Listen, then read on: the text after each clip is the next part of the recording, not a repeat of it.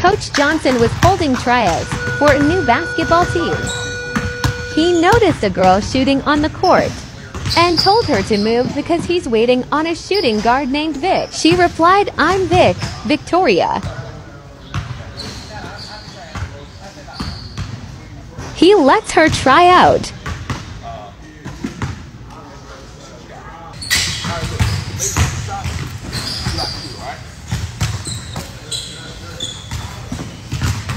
That's one. Okay. All right.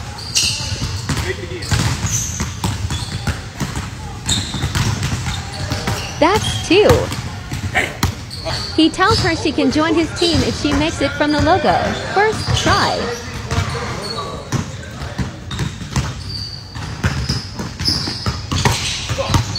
Guess she's on the team.